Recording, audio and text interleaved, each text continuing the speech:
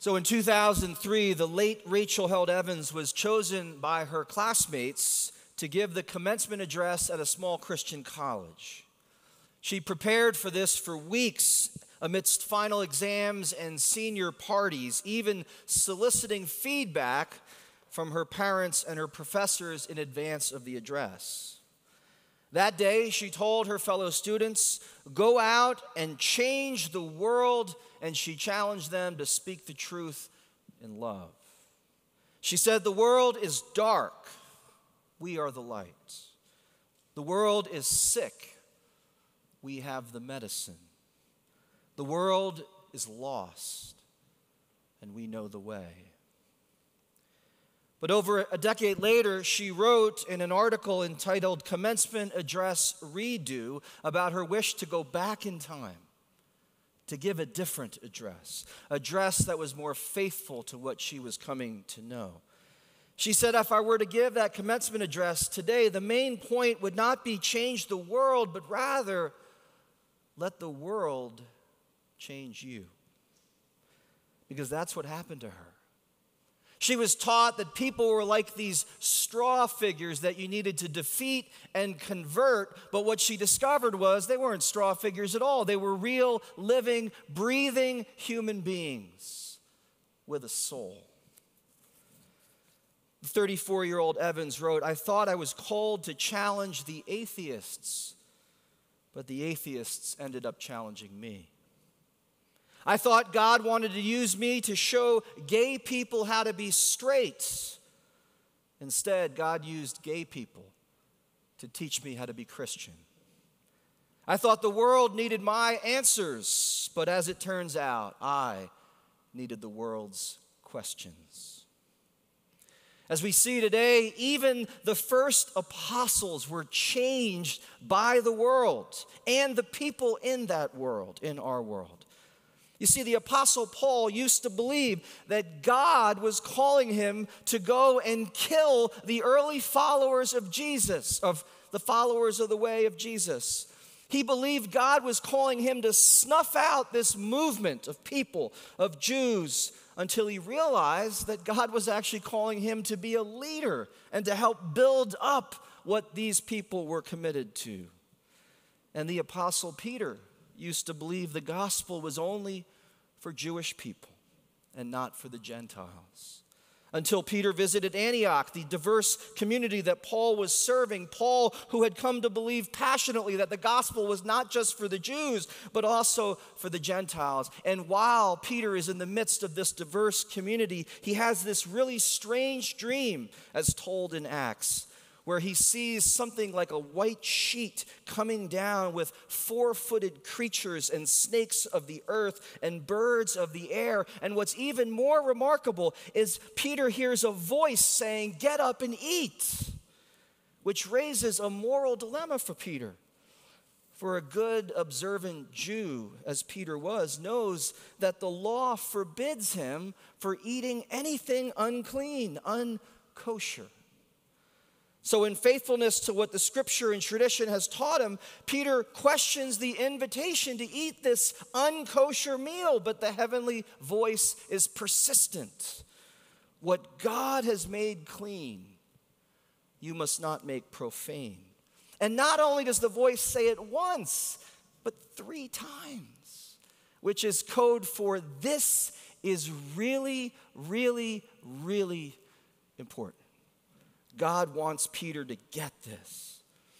And so he listens and he has an experience of God which contradicts what he's been taught and come to believe.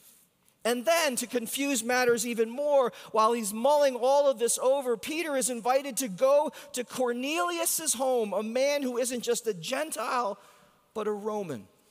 And worse than that, a Roman officer in the very army that is oppressing the Jewish people and that has just recently killed Jesus, the one that Peter says is the Christ, the Son of the living God. All of the alarm bells must be going off in Peter's mind and in his heart. Don't do this. But the Spirit whispers Cornelius is trustworthy, and he is We see in Acts that he's a good man, a man of prayer, a man who worships God, a man who helps the needy, and a man who's had his own strange encounter with God when he is visited by an angel who affirms his faithfulness and invites him to invite Peter into his home, to cross this boundary between Jew and Roman, which he does. And so Peter comes into this home and what is the most consequential visit in early Christian history. And not only does Cornelius welcome Peter and greet him with reverence and respect, he welcomes him as if he's a messenger of the divine, which of course we know he is. And while in Cornelius's home, Peter speaks about what has been revealed to him in his dream, and he reminds Cornelius and the crowd that has gathered around him that this visit is forbidden by his tradition. And yet, Peter is there anyway because of this persistent voice which has told him to no longer label anyone unclean. What a powerful sign that Peter is growing in his understanding of how radically inclusive the love of God is for God's people. Peter understands this is not about what food to eat and what not to eat. It's about crossing boundaries and extending the circle of God's love to people and leaders who were once his enemy. And Peter does that in dramatic fashion. He not only crosses the boundary, he baptizes Cornelius and his entire household. And not only is Cornelius converted, I think Peter is re converted to the gospel. And he is now aligned with Paul. And both Peter and Paul now believe that the gospel is for all people, Jew and Gentile. And they are now speaking in unison the words that Peter spoke today. It makes no difference who you are or where you are from. If you want God and are ready for what God has called you to do, the door is open. And Christianity is changed forever going forward, no person will ever be excluded or ought ever be excluded on the basis of race or any human devised distinction.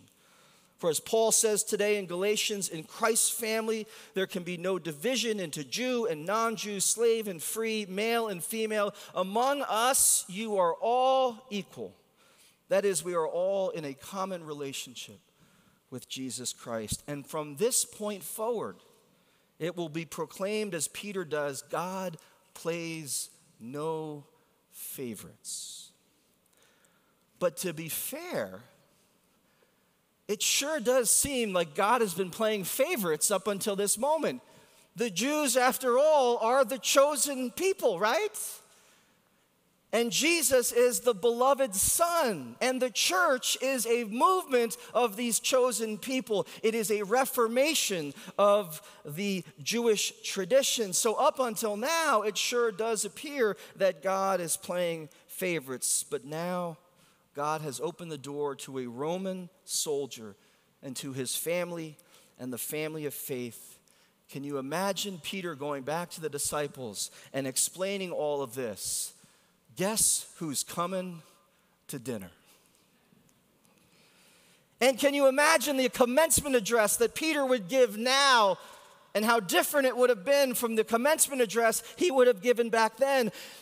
Now, after all these things that have happened in Antioch with Cornelius and his family, now, after Peter allows the diverse world and God's radically inclusive love of that diversity to change him, after he discovers that God is less concerned with creating boundaries and more concerned with breaking them down. Today, we begin a four week series on our first core value, or one of our core values, loving inclusively. We're going to explore loving inclusively in November of 21, we adopted this statement that we believe that every human being, every human being is created in God's image. And as Christians, we're called to love God and God's creations, ourselves, our neighbors, the strangers, the marginalized, even our enemies. We value differences. we honor diversity. We recognize unique perspectives, talents, and experiences, and we learn from each other. Did you know there are two ways to herd cattle? You can build a fence you can invest time and energy and resources, and you can put up miles upon miles of fencing, and you can invest even more time and energy and resources in maintaining those fences over the years. You can keep clear boundaries and you can keep the herd within those boundaries. You can build fences. Or you can build a well. You can build a well. You can invest time and energy and resources in digging deep and building a well, knowing that cattle are like every living creature. When they discover water somewhere, they will come back because we all need water to survive. And you know what? What's easier to maintain? Millions and miles of fences or some wells where, have been, where living water has been found. Think of all the time and energy and resources we've invested in boundary keeping as a church.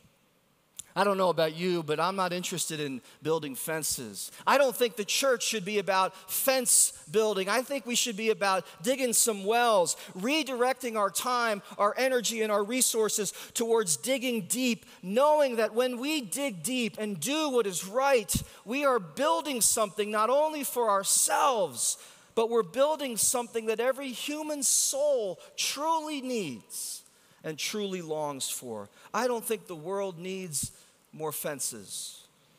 I think it needs more wells. And so this year we're going to dig wells together. We've got these four core values that are deeply Christian, and we should understand that and better understand that. And we're going to dive deep into each of these values over the course of this year loving inclusively, living contemplatively, sharing generously, acting justly, for every human soul not only needs these values, but will flourish as they commit themselves to it. And the work of loving inclusively is not simply the work of our time, it is the work of God for all time for all time. And we see that not only as we look around our increasingly diverse world and begin to see the image of God in people we didn't imagine to see it, but we see it in our tradition and we see it in the scripture and in the arc of where it's all headed, which culminates in Jesus and his radically inclusive embrace of all people. Jesus is committed to extending the circle wider and wider and we, as followers of Jesus, are called to that same work, the work of God, for this time and for all time. Sometimes it takes someone on the outside of those boundaries that we've created to better help us understand what being an insider really means. So let me turn to a Sufi mystic to help us understand our Jewish Savior. The poet Rumi says, Come close, closer, even closer. How long will this hindrance last? If you are me and I am you, what is this separation between you and me? We are the light of God, we are God's mirror. So, why do we struggle with ourselves and with one another? Come, release yourself from this ego.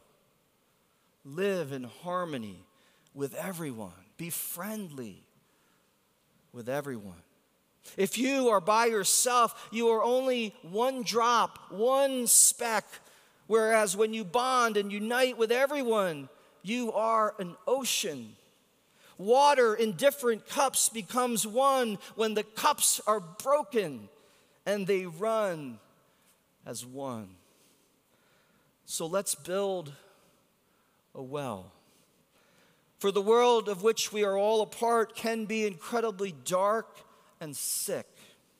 And there is evidence that we are losing our way and we need the gospel, the good news of God's love now more than ever. But let's also be clear there is goodness everywhere and in everyone for those with eyes to see.